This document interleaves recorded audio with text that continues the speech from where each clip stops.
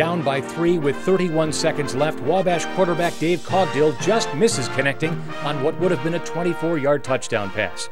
On second down, Cogdill goes for it all again, but this time, Bob Noling can't hang on. Third down, and again the play is designed to be a game winner. But this pass attempt is broken up in the end zone. On fourth down, and with seconds left, Cogdill scrambles and dodges and appears to be going down, but he lets go of one last heave. It falls incomplete and ices a 15 12 victory for DePauw in another of the Monon Bell's fantastic finishes.